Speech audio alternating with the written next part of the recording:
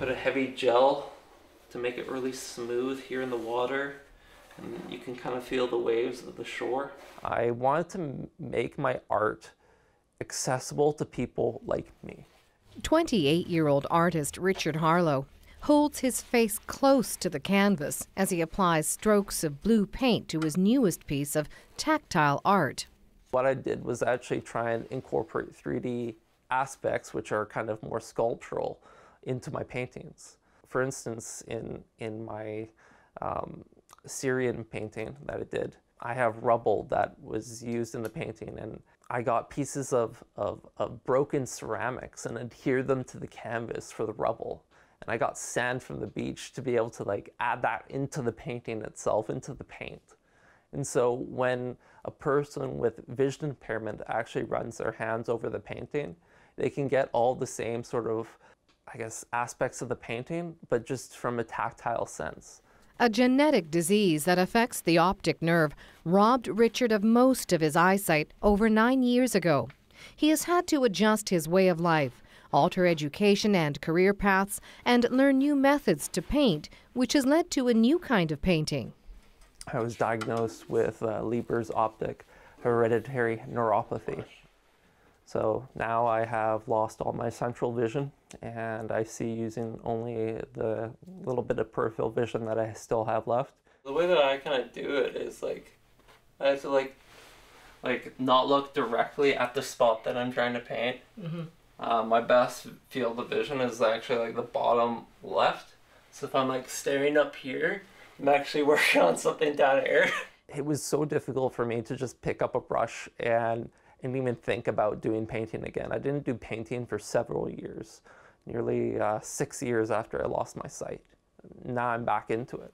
I like advertising my art as accessible art um, because it's tactile for people with vision impairment. But whenever people are in an art gallery, there's always those signs that say, please do not touch the art. Well, if I ever have my own art gallery showing, I encourage people to touch my art if they have clean hands, of course. As an artist myself, I just I think that's amazing, and I'm so thrilled that he's found that way to present his work. Just the ways that he's um, found accommodations to to look at the art and to draw by using his iPhone to be able to zoom in and look at particular aspects of what he wants to draw, and then using the color and the texture. Just in the water, there's probably nearly seven layers of paint. And in the sky, there's so many layers as well. Richard's desire to enrich experiences for people with disabilities goes beyond his paintings. The frustrating thing right now is there's so many people with dis- with disabilities that are either unemployed or underemployed. A person with a disability is just as able to work like anyone else, is just as capable as anyone else, and if you give a person with a disability a chance, they will impress the heck out of you. Richard started the Disability Awareness Club on campus several years ago, and with that, he was part of the International Day of Persons with Disabilities. And he's also been integral in changing the icon for the parking spaces for handicap parking. Well, the accessible icon shows uh, movement, it shows strength, um, shows that the person is actually overcoming their mobility disability.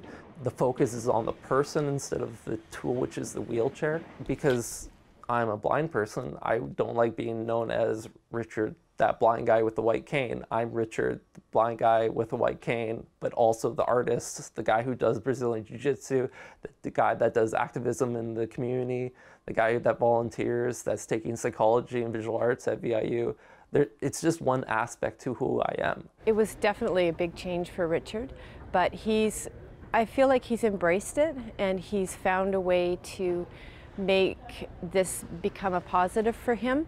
And he does definitely work to change and make changes for people with disabilities and um, find ways to bring people out and look at their strengths within their disabilities. Disability is only one aspect of who they are.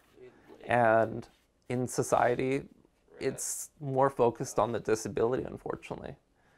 I just want to be able to change people's perceptions of how disabled people are, are seen, and so that may help change employment opportunities and education um, I just want to help improve the lives of other people with disabilities.